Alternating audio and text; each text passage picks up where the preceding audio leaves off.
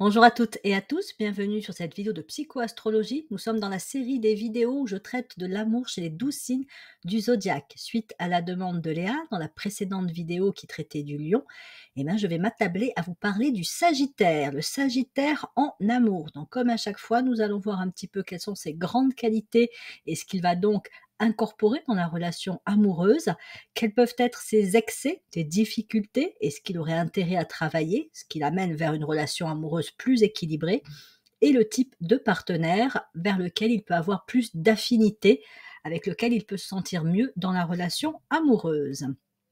Bien, alors, les grandes qualités du Sagittaire, parmi ces grandes qualités, celles qui, selon moi, vont avoir un impact important sur la relation amoureuse, c'est ce côté aventurier du Sagittaire. Hein. On pourrait vraiment considérer le Sagittaire comme, parmi les douze signes du zodiaque, celui qui représente le sens de l'aventure. C'est un explorateur, c'est aussi un passionné, un optimiste, enthousiaste, franc, direct, indépendant de caractère comme tous les signes de feu est relativement exclusif. Alors, qu'est-ce que j'entends par la notion d'exclusif?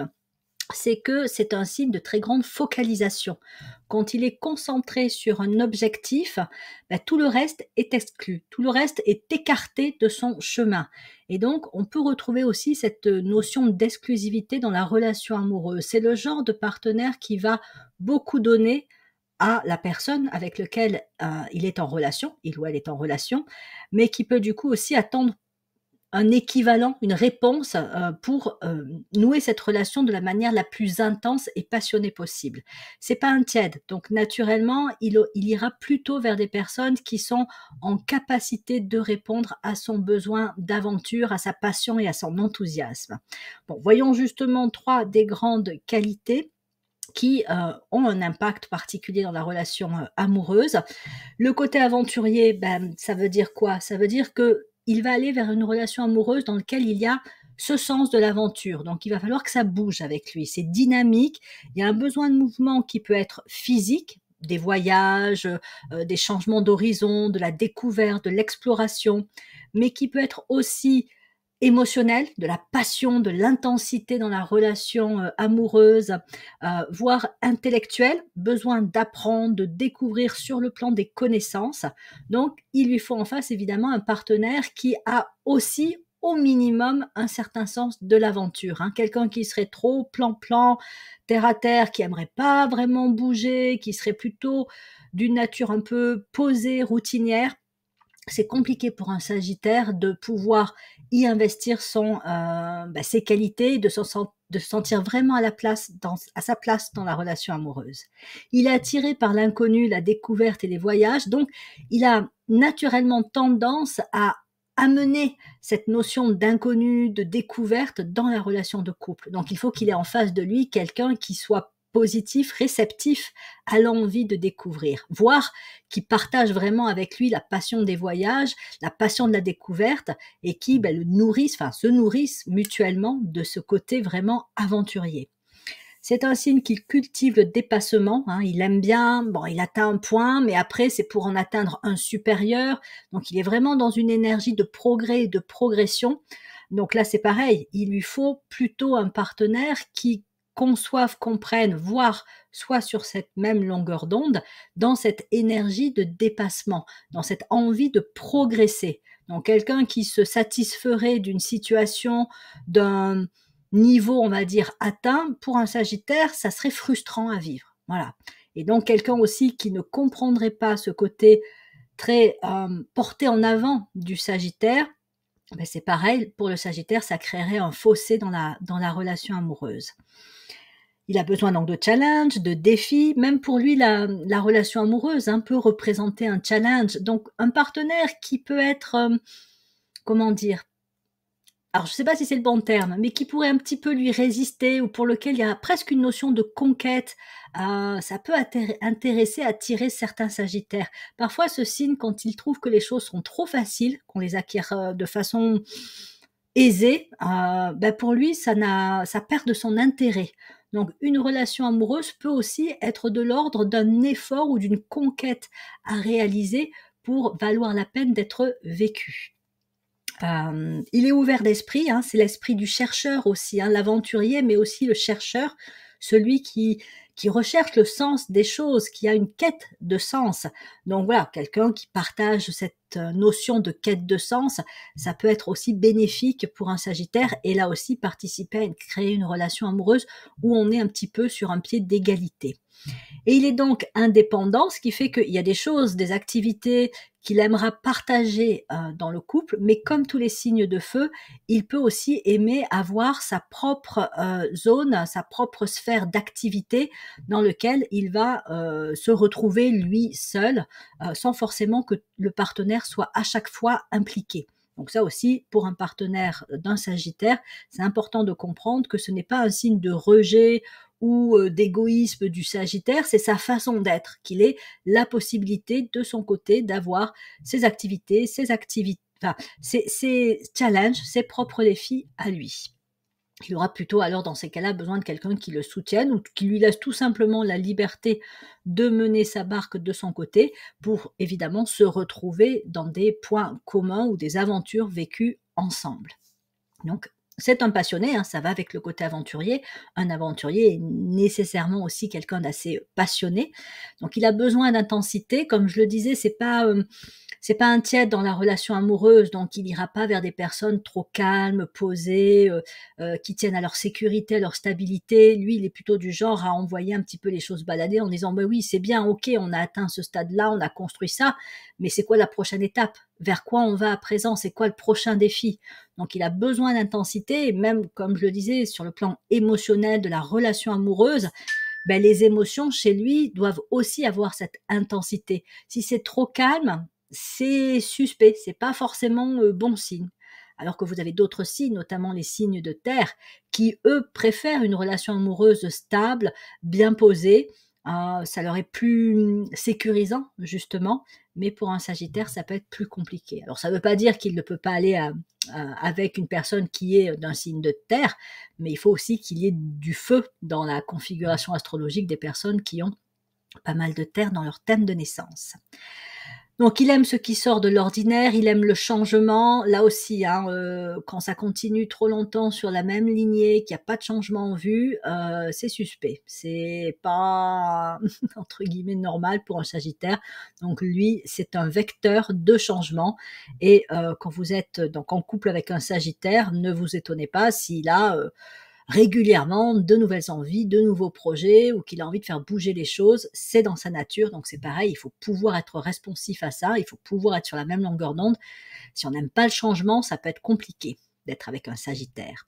Donc il est démonstratif en amour, et là c'est pareil, c'est comme tous les signes de feu, il a plutôt tendance à faire les choses euh, dans une certaine grandeur, euh, voilà, c'est la démonstration, la passion, donc euh, que ce soit parce que voilà, il vous offre un voyage, ou il vous emmène en voyage à l'autre bout du monde, ou il vous propose une activité qui est vraiment de l'ordre d'une aventure, bah, il faut pouvoir en face euh, répondre à ça et pas euh, sentir que le seul coup on panique un peu, ça fait peur et on va dire non on peut dire non évidemment, hein, mais simplement si on dit trop non à ces aspects-là du Sagittaire, ben, il va se dire bah, je suis pas avec la bonne personne, je suis pas avec la personne qui me, qui me correspond. Après c'est un dynamisant, hein, comme euh, là aussi tous les signes de feu, voire les signes d'air. Euh, avec un Sagittaire, on s'ennuie pas. Voilà, il y a que si son énergie au départ, peut-être dans son enfance, dans son histoire de vie, a été bloquée où le Sagittaire peut alors euh, avoir perdu ce côté passionné et ce côté aventurier, mais naturellement, c'est dans ses tendances et donc il va les amener dans la vie, euh, dans la vie de couple. Loyal entier, ça fait partie aussi des caractéristiques des signes de feu de manière générale. C'est vraiment de l'ordre du tout ou rien. Hein. Ça fait partie des signes qu'on aime ou qu'on n'aime pas en général. Hein. Voilà, parce que soit on va le trouver trop intense, trop euh, être quelque part un petit peu en permanence vers l'avant. Donc on va se dire mais euh, il est toujours vers autre chose, toujours vers ailleurs, toujours à vouloir plus.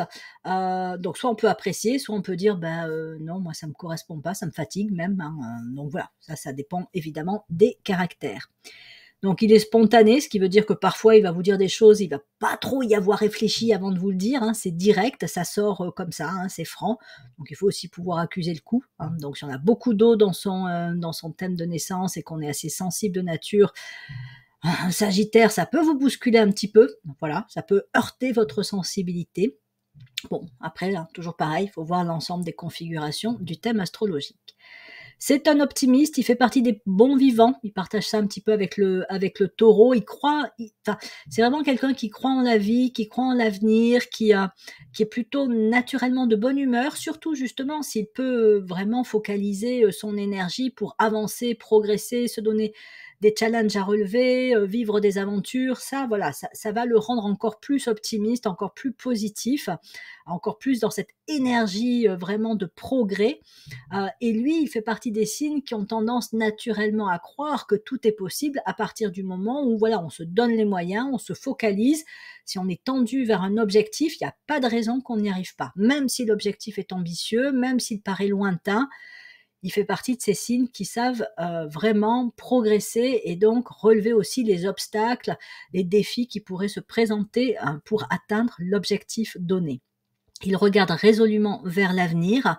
Euh, après, on va avoir des signes. Après le, après le Sagittaire, quand on continue les signes astrologiques, on va rentrer dans des signes où la notion de transcendance est présente. Donc on pourrait dire que le Sagittaire, c'est un petit peu le signe qui ouvre la porte à, la transcendance, qui fait passer dans un nouveau monde. Donc il est vraiment celui qui va vers l'avant pour découvrir le, les possibilités à venir. Voilà. Donc il a ce côté aussi euh, orienté vers euh, demain, l'innovation, euh, les valeurs, les valeurs à venir, les valeurs supérieures, les valeurs humanistes.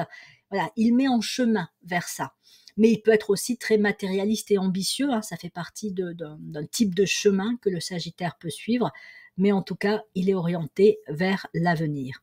Naturellement, c'est quelqu'un qui croira en vous dans la relation de couple, qui vous fera euh, confiance euh, et qui vous peut-être aussi aura tendance à vous booster. Voilà, parce que lui, il veut avancer, donc il a tendance à vouloir faire en sorte que son partenaire et la relation de couple, elle avance. Donc ça aussi, c'est pareil, comme je le disais, il faut euh, être prêt à être dans cette énergie-là.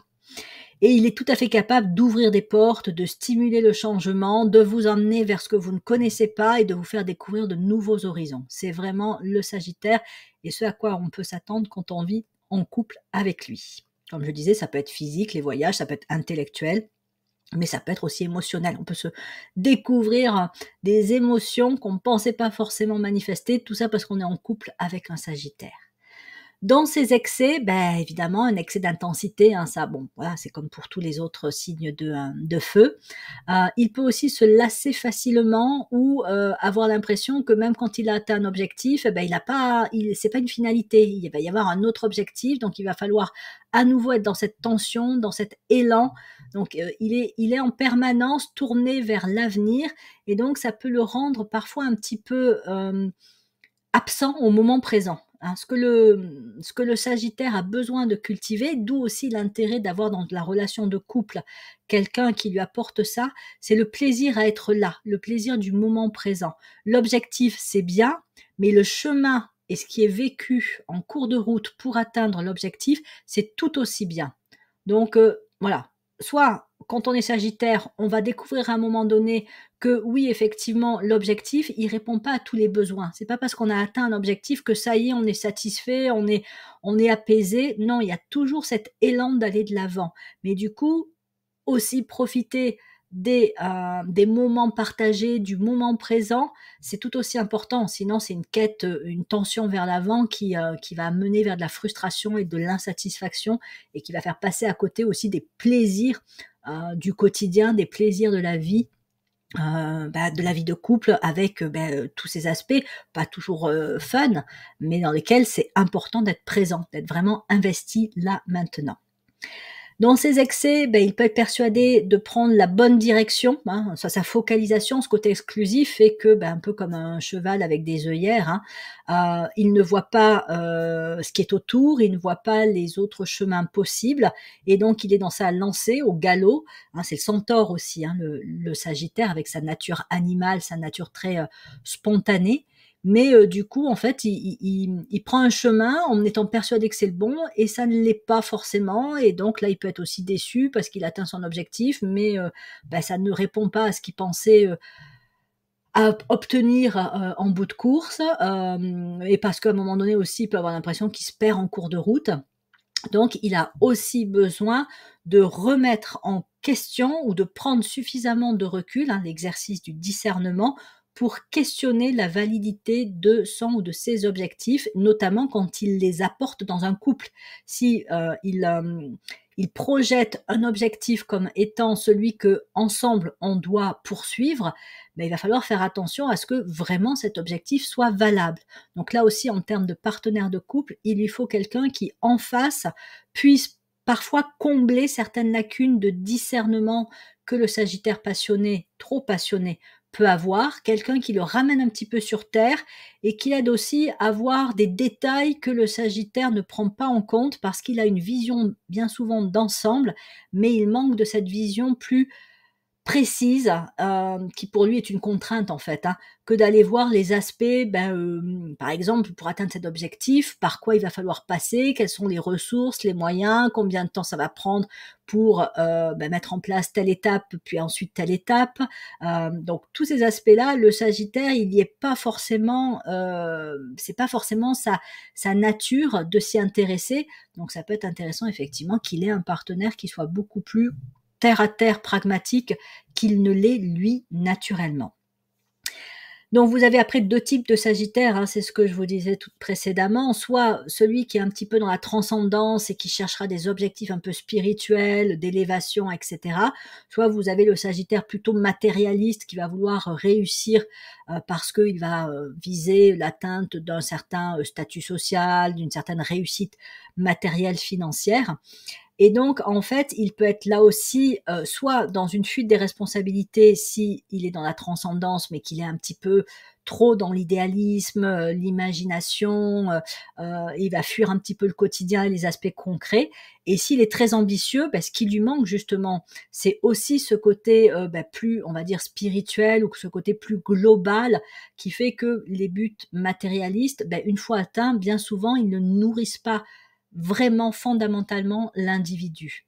Donc il doit faire attention effectivement à avoir une espèce de double casquette, si je puis dire, quand il est focalisé sur un objectif, de se dire est-ce qu'il y a un équilibre entre le côté matériel et le côté plus spirituel ou global? Voilà.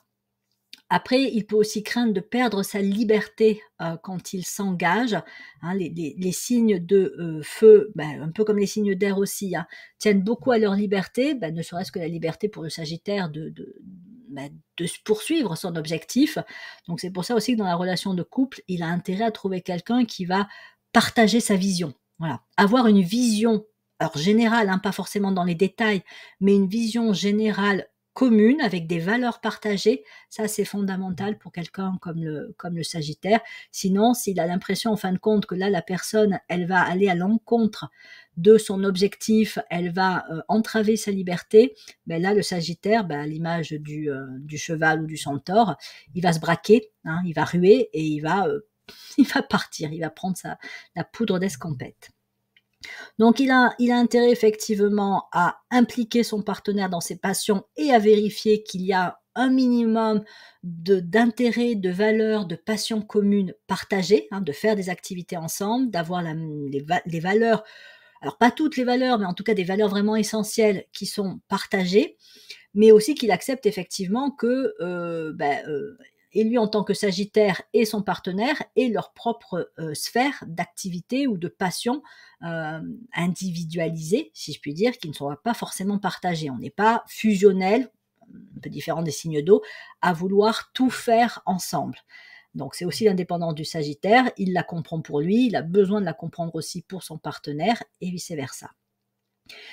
C'est un impatient, un impulsif, un fonceur, donc il a aussi besoin d'apprendre que chacun a son rythme, chacun a son temps pour faire les choses, que si lui démarre très vite, ben, c'est pas forcément le cas du partenaire.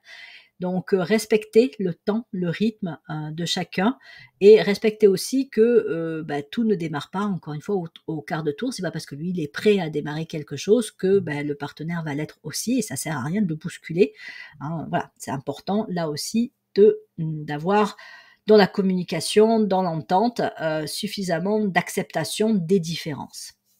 Apprécier donc le chemin tout autant que le but, hein, le moment présent et les petites choses du quotidien autant que le résultat, puisque des fois, comme je le disais, le résultat, il peut être décevant. C'est-à-dire qu'on a tellement mis de passion, d'énergie pour vouloir atteindre un objectif, que c'est un peu comme un soufflet qui retombe une fois qu'on a atteint l'objectif. Il y a un certain soulagement de l'avoir atteint, et en même temps, on se dit, ben oui, mais une impression de vide. Voilà, un peu une impression de vide. Donc, euh, si en plus il ne profite pas du moment présent et du chemin, ben alors là, pour le coup, il va aller vers une grande, une grande déception. Et donc, ça aussi, dans le couple, c'est important qu'il réalise que le quotidien est tout aussi important que de se fixer ensemble des objectifs. Donc, être vraiment là, ici et maintenant.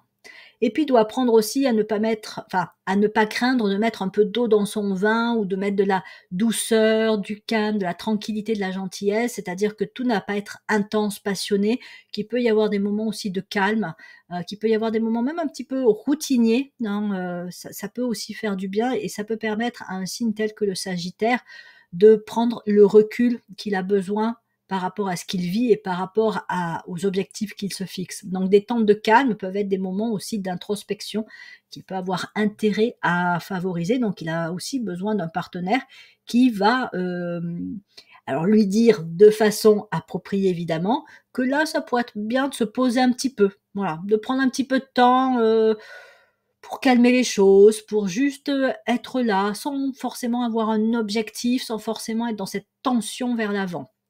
Voilà. Et donc après, lorsqu'il développe ce type un petit peu de de progression, de qualité, de façon d'être, ça peut lui permettre d'être encore plus intelligent dans son rapport au changement. C'est-à-dire que c'est pas le changement pour le changement, mais c'est un changement qui va être pertinent, qui va être porteur, qui va permettre d'évoluer, de faire évoluer la relation de couple, de s'enrichir mutuellement, euh, de, de vraiment aller de l'avant et pas juste alors progresser et aller de l'avant. C'est-à-dire pas juste peut-être aller de l'avant pour aller de l'avant, hein, euh, voilà, avancer pour avancer, mais vraiment être dans un progrès, un progrès de couple, un progrès partagé. Donc pour ça, effectivement, encore une fois, il faut qu'il soit passé par un certain nombre de, facteurs comme l'écoute de l'autre, le, le, respect du rythme euh, de chacun, le respect aussi des temps individuels. Voilà. Donc après, c'est aussi quelqu'un qui est capable de d'éviter que le couple s'encroute, parce que ça, c'est un des facteurs les plus, euh, alors j'allais dire dévastateurs, c'est peut-être un mot fort, mais qui met les couples en danger. Hein. C'est le train-train, la routine qui fait qu'à un moment donné, ben oui, on, vit ensemble, on vit sous le même toit, euh, on partage des choses, mais euh, en fin de compte, ça ronronne, c'est routinier, et il n'y a pas... Hum, le couple n'est pas dans une dynamique réelle, dans une créativité. Il n'y a plus de créativité au niveau du couple. Le Sagittaire est tout à fait capable d'éviter qu'il y ait cet encroutement dans la relation, dans la relation de couple. Ça enrichit évidemment, hein, ce qu'il apporte peut enrichir le, couple parce qu'il y amène une énergie de découverte, d'exploration, euh, de réflexion aussi, euh, avec cet esprit de recherche.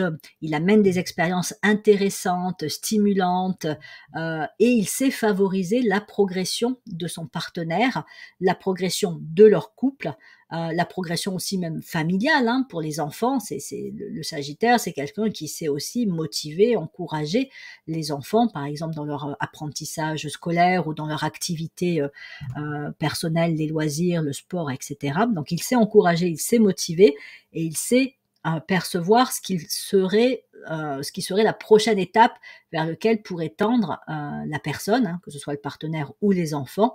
Et ça, bah, ça en fait un petit peu un coach. Hein. Je le dis souvent pour les Sagittaires, signe des guides, signe des coachs.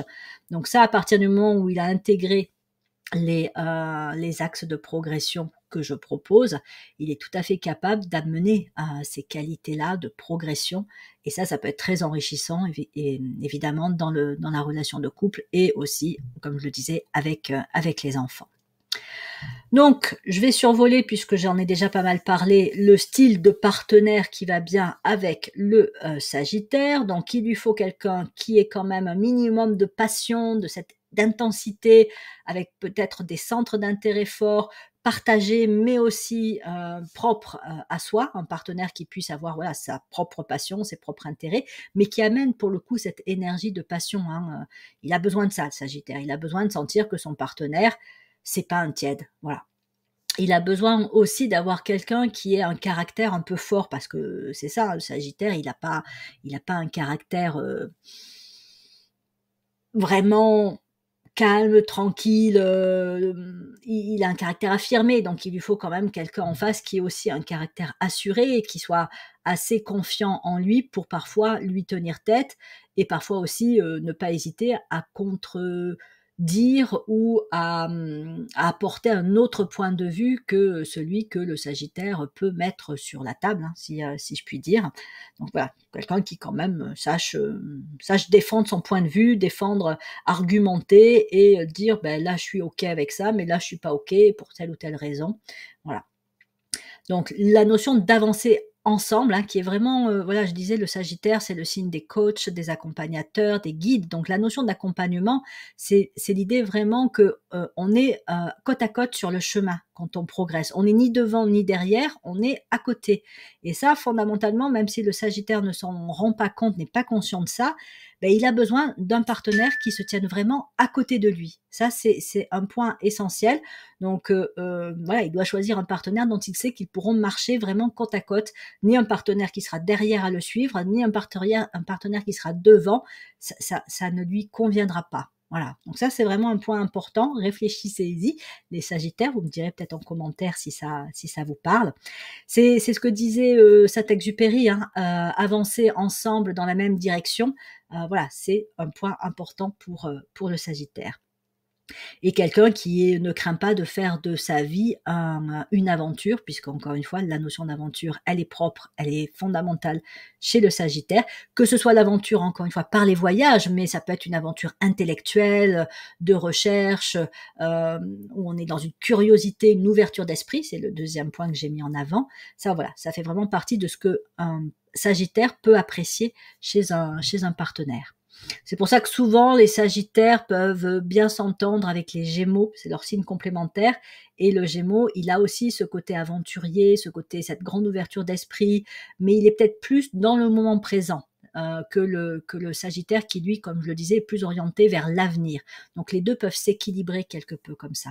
Donc votre partenaire peut être du signe du Sagittaire ou avoir des planètes euh, en Sagittaire, tout comme vous pouvez être Sagittaire ou avoir Mars, euh, l'ascendant, euh, peut-être même Jupiter en Sagittaire et vous reconnaître, euh, ou Vénus en Sagittaire, et vous reconnaître dans certaines des caractéristiques que j'évoque là et qui seront aussi pondérées avec d'autres, attributs de votre thème astrologique. Donc l'ouverture d'esprit, importante pour le Sagittaire chez son partenaire, il faut plutôt quelqu'un qui soit donc curieux, qui aime apprendre, qui aime découvrir, qui aime bouger, qui, qui, soit donc dans cet esprit de recherche qui touche vraiment au sens de la quête, hein, presque, que ce soit la quête matérialiste ou la quête euh, spirituelle, on est de toute façon dans le sens de la quête avec, euh, avec le Sagittaire. Euh, qui sache aussi apprécier les petites et grandes choses de la vie, hein, c'est ce que je disais, je me répète un petit peu, mais le moment présent, les petites choses, mais aussi les choses plus, on va dire, les objectifs plus ambitieux ou l'avenir. Voilà, le Sagittaire a besoin d'un partenaire qui l'aide à percevoir que les deux sont importants. Que l'objectif c'est pas c'est pas tout, c'est même presque pas une finalité en soi. Euh, puisque ce qui peut être aussi important, c'est d'apprécier ce que l'on vit alors que l'on tend vers, vers un objectif fixé. Et puis plutôt quelqu'un qui aime aussi euh, rencontrer les gens, euh, euh, discuter, échanger. c'est aussi ça la découverte, hein, l'esprit de découverte du, du Sagittaire. C'est aussi la découverte des autres, des autres cultures, les autres façons de vivre, les autres façons de penser aussi. Voilà. Donc quelqu'un qui soit aussi ouvert d'esprit à ce niveau-là. Des caractéristiques d'organisation, alors ça c'est plutôt dans le sens de la complémentarité par rapport à ce qui peut un peu manquer parfois chez le Sagittaire, mais si vous avez, vous êtes Sagittaire et que vous avez pas mal de signes de terre aussi dans votre thème, ben, vous allez développer des, capacités d'organisation. Euh, mais sinon, ben, il vaut mieux que ce soit le partenaire qui les amène dans le couple parce que vous, vous risquez de passer à côté de certains aspects très concrets de la vie. Euh, le sens du détail, c'est pas le point fort naturellement du Sagittaire, euh, où il l'a mais ça, vraiment, c'est une contrainte pour lui de, de regarder le, les, choses en détail et de, euh, voilà, d'avoir un plan d'action où on va, on va vérifier les petits détails. Quoi, voilà, comme par exemple, on part en voyage, euh, qu'est-ce qu'on va mettre dans sa valise?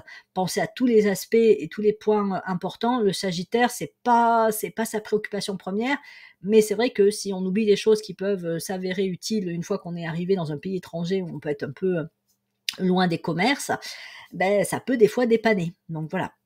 Euh, il a besoin aussi donc de personnes qui le ramènent un petit peu euh, terre à terre, concrètes, euh, organisées, donc d'un partenaire plutôt pragmatique. Hein, la question du comment faire aussi est importante et pas seulement de quel est l'objectif, vers quoi tendre, mais comment faire pour l'atteindre. Et puis aussi quelqu'un qui sache par moment calmer ses ardeurs, parce que sinon, ben, il peut s'emballer. Hein. c'est ce que je disais avec l'image du cheval ou du centaure. Hein. il peut partir au galop il peut être trop focalisé, donc il a besoin de quelqu'un qui euh, bah, tienne un petit peu parfois la bride, euh, de façon évidemment appropriée, parce que sinon là il risque encore plus de se, de se braquer, euh, par des questionnements, hein, voilà, lui faire prendre, lui faire prendre du recul. Bon, ok, ton objectif c'est ça. Est-ce que tu as pensé à ça? Est-ce que tu as, hum, as, envisagé telle conséquence possible? L'impact que ça pouvait avoir sur telle ou telle personne? Enfin voilà, c'est l'amener par quelques questions bien formulées à se questionner euh, sur la pertinence, l'intelligence de son objectif et sur sa propre tendance à l'impulsivité et à l'impatience. Et à ce qui va se passer une fois l'objectif atteint. C'est ça aussi. À ton avis, tu te sentiras comment quand tu auras atteint cet objectif-là? Qu'est-ce que ça va t'apporter hein, de réaliser euh, cet objectif? Voilà. Voilà, voilà. Ben, c'est tout ce que j'avais à vous proposer pour cette vidéo consacrée à, la façon d'aimer et au style de partenaire vers lequel un Sagittaire est plus prédisposé à aller.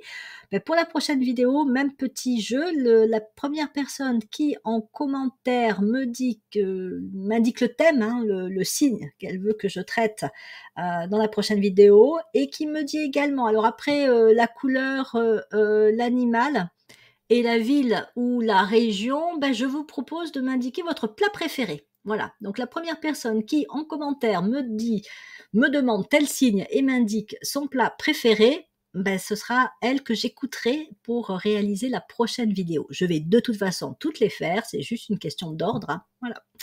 Eh ben, je vous remercie de votre écoute, de votre intérêt pour mes vidéos, de vos partages, enfin voilà, hein, euh, comme à chaque fois, les likes, les abonnements, euh, tout ce qui fait vivre la chaîne et tout ce qui, moi, me donne envie de continuer. N'hésitez pas en commentaire à me dire, vous, comment vous vivez ce signe du Sagittaire, que vous soyez euh, Soleil en Sagittaire ou Vénus, Mars, ou que vous ayez aussi connu dans vos relations amoureuses des Sagittaires, un Sagittaire, voilà, pour donner des éléments qui peuvent et moi m'enrichir hein, dans la création de mes vidéos, mais aussi pour euh, ben, les autres personnes qui regardent ces vidéos, leur amener euh, des, euh, des illustrations, des, réflexions, des partages d'expériences qui peuvent être porteurs pour tout le monde. Voilà, à bientôt